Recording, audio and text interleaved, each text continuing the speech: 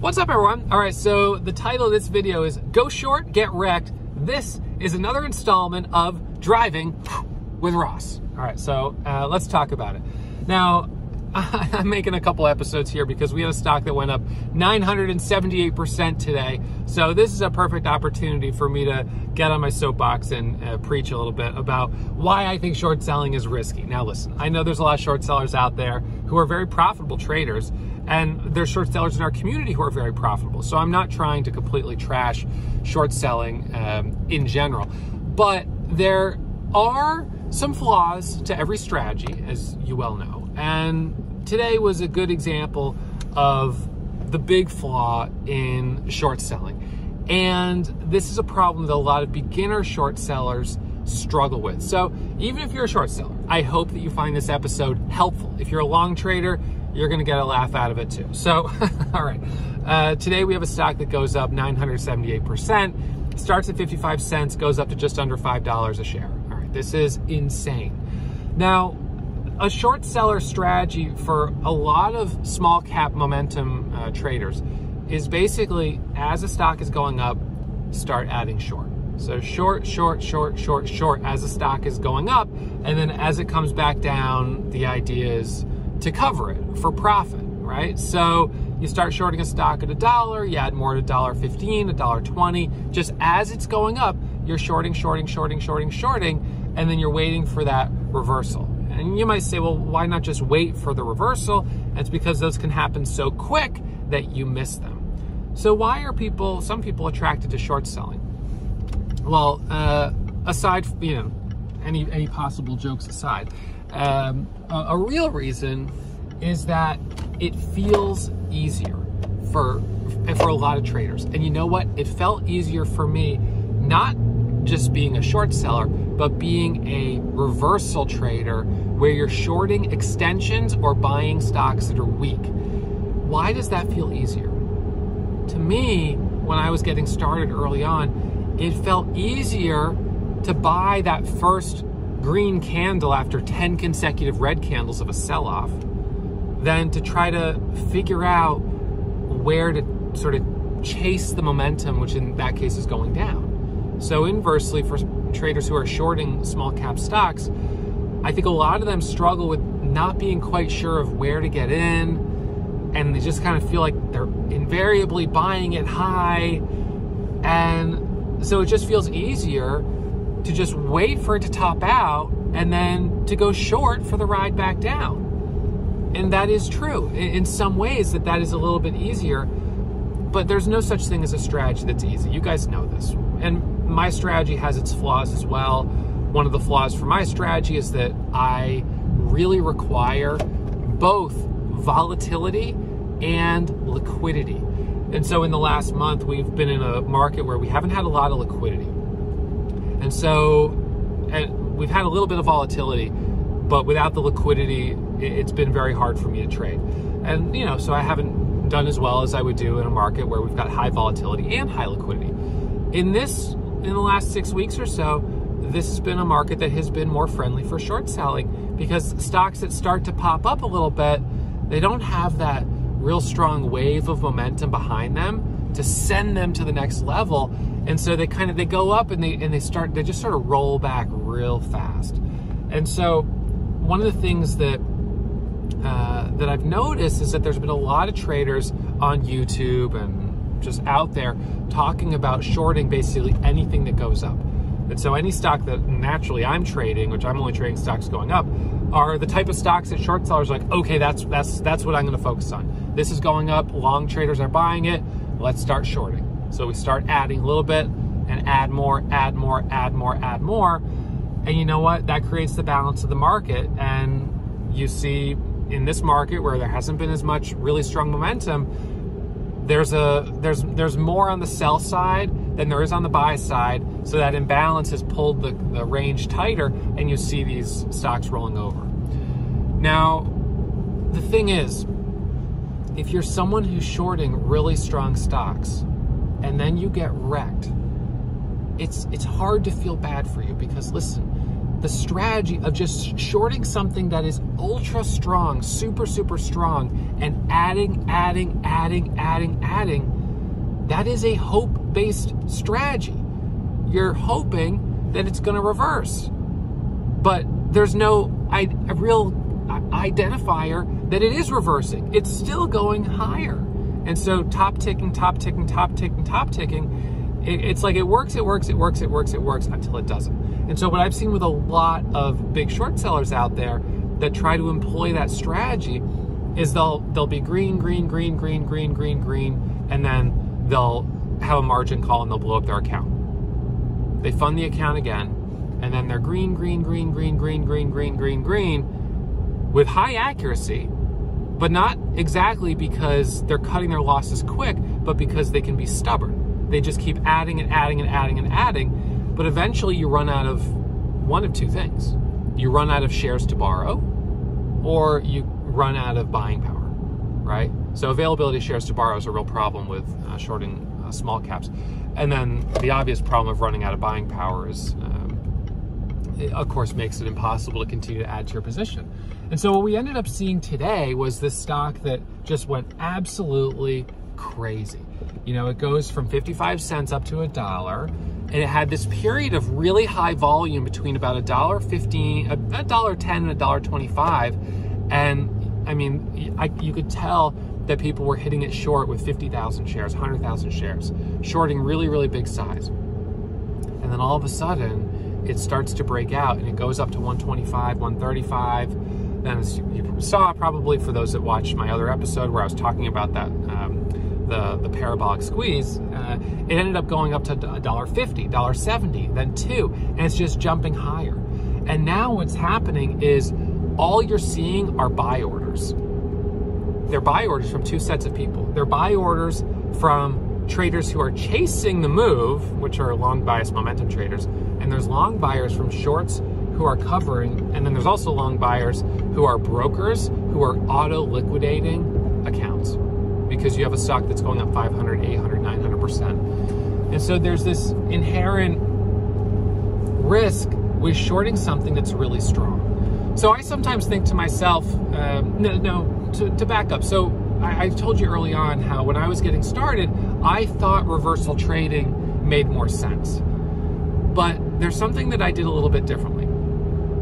I waited for confirmation. So I would typically wait for 10 plus consecutive green candles going up or 10 plus consecutive red candles going down. I would look for a bottoming tail doji or a topping tail doji, and then that next candle to drop would be that's where I would take my entry with a stop at the high.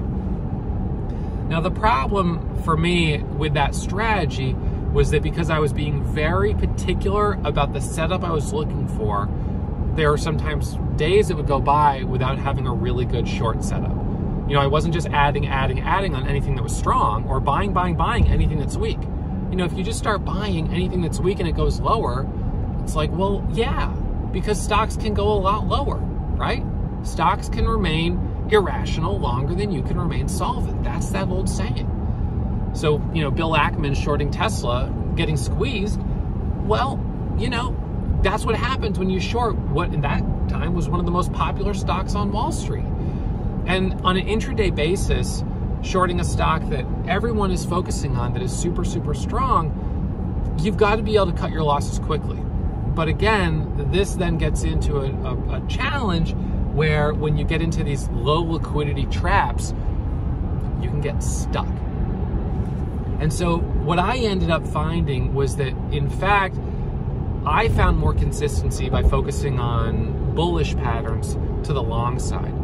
Because, you know, in the example of shorting a stock at a dollar that goes to $4, you're shorting a dollar, best case scenario went to zero. You know, you're up a dollar a share. Worst case scenario goes to five or ten dollars, you're down five. You're you inherently have a negative risk to reward ratio. So on any given day, when you're shorting something that's really strong, if you're stubborn, and of course, good short sellers who end up having you know a lot of success and a history of profitability, they they naturally will still have this tendency of lots and lots of winners, big loss, lots and lots of winners, big loss. But other traders can have that as well. The question is, how big is that loss? Are you cutting it before your account gets blown up? And if you are, then that's really, really good. If you're not, then this is clearly an area where there's room, a lot of room for improvement. Because holding and hoping, whether it's long or short, that's not a viable strategy. You know, that that's luck and it works and it works until it doesn't. So you really have to get dialed in with the risk parameters of the strategy that you're trading. And so one of the things that I've found, and I've found this consistently over you know, long periods of time, has been that I have to be thinking about my stop before I take a trade. What's my stop? What's my stop? And unfortunately, in the case of buying something that's weak, that's selling off, and I've done this before, I buy something that's weak and it goes lower and it halts down. And now all of a sudden it's gapping lower, and I wasn't able to really manage my risk because there were things that were out of my control the halts, the quick flush. And now I'm in a situation where I become emotionally compromised because I'm faced with a much bigger loss than I was planning for. And I have to either cut it on resumption, in which case I'm selling when there's no buyers, so I'm going to get massive slippage. And that's the problem with covering a short position is it's squeezing up like on AM AM today is that you're now covering when there's no sellers and that means you're getting a ton of slippage going up all the way to the next halt. So, I mean, listen, these are the risks of trading. Trading is risky. Short selling, I think, is especially risky because you can lose an infinite amount of money.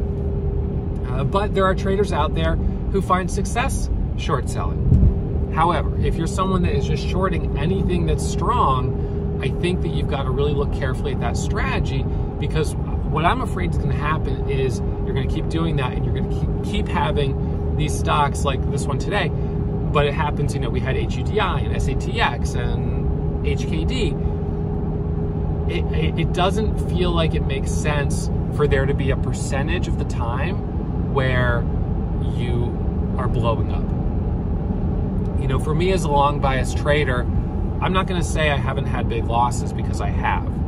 Uh, however, my biggest green day is much bigger than my biggest red day. And that I was talking with Jess today, who's got his 500k badge. His biggest green day is 63,000. His biggest red day is 17,000. Right. So that that's I mean you can work with that. That that makes sense. Now at the end of the day, biggest green day, biggest red day. Those are just two days. What are your what's your accuracy? What's your profit to loss ratio? But those are two things that are really interesting, and I could save it for another episode but I'll just quickly say that there's a relationship where traders that have really, really good profit loss ratios usually have lower accuracy because they're swinging usually for home runs. But when they hit, they get that big winner, so their profit loss ratio is phenomenal. But you know, out of 10 trades where you swing for a home run, maybe only three of them connect. So you could have a great profit loss ratio and 30% accuracy and still be a profitable trader. And if you're okay with being wrong 70% of the time, and you can brush it off because your stops are tight, you're getting in on support, whatever it is, that's fine. On the other hand, you have traders that have um, negative profit loss ratios where their average losers are massive, but their accuracy is like super, super high. And so again, that that comes with a different set of challenges. You generally have high accuracy, so you've got really high confidence, but then, you know, every X number of weeks, you have a massive loss that wipes it all out. Now, what I had as a beginner trader was a poor profit loss ratio and poor accuracy. So I was just struggling across the board. But I'll tell you, for me, what helped me turn the corner was focusing on higher quality setups. And for me, I don't like to take trades where I'm immediately going to be in the red. That's really hard for me. So short sellers who are able to add, add, add, add, add, you're managing the loser the, the, the first, you know, the, the majority of the trade, in fact, until it resolves. And I give you a lot of credit for being able to do that because that's something that's really hard for me to do. I do not like trying to manage losers. I want to get into a breakout trade. And essentially, if I time the breakout correctly, whether it's a half dollar, whole dollar, first candle, make a new high, if I time it correctly, I'm going to be green almost immediately.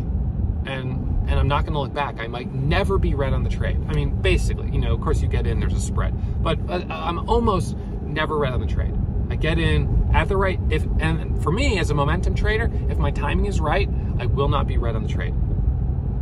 And so, you know, that, that for me, with the strategy of really trying to manage risk, especially when trading in a small account, that was like the only way for me. I just had to focus on really high quality precision trading. Get in, get out, boom, quick trade.